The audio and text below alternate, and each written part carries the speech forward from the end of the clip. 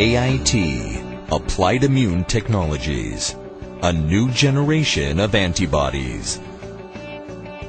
The most effective cancer treatment today uses therapeutic antibodies, which attack diseased cells without harming healthy cells with minimal side effects.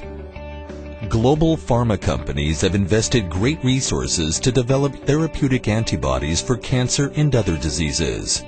World market amounts to billions of dollars a year. But development of new antibodies is limited due to the difficulty in finding additional disease-specific markers. Conventional antibodies developed today by other companies target only the extracellular disease-specific markers. There are additional cancer markers. The MHC class 1 peptide complexes, derived from the intracellular proteome, a much larger pool of proteins. These markers are generated inside the cell, transported to the membrane, and presented on the cell surface. They are not accessible to conventional antibodies. AIT is able to target these elusive disease markers with its novel antibodies, called T-cell receptor-like, or TCRL antibodies. AIT makes the intracellular proteome accessible to antibody targeting, adding many new potential targets for therapeutic and diagnostic antibodies. AIT will generate a new pipeline of proprietary disease-specific TCRLs to expand the market of therapeutic antibodies beyond the limits encountered today. AIT develops an approach called EpiTarget to identify new disease-specific markers the MHC peptides. The peptides eluting from tumor cells are scanned by mass spectroscopy.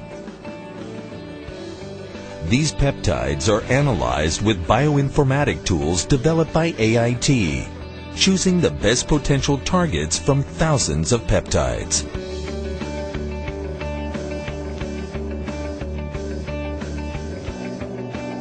AIT then develops TCRL antibodies to target these peptides when they are presented on MHC molecules. The TCRL antibodies are used for validating the targets and as therapeutic antibodies to kill the disease cells. One way the TCRL kills the cancer cell is by being armed with a very potent drug. The armed TCRL binds with the MHC on the cell surface, penetrates the membrane, and destroys the cancer cell. Another way is to transform the TCRL antibodies to a bispecific format. This way, the TCRL will recruit cells from the body's immune system to the site of the tumor, destroying the cancer cells. The application of AIT technologies will drive the development of novel antibodies for many cancer types, as well as viral diseases. A unique therapeutic solution for a variety of cancer and viral diseases will bring hope to countless patients. AIT, Applied Immune Technologies.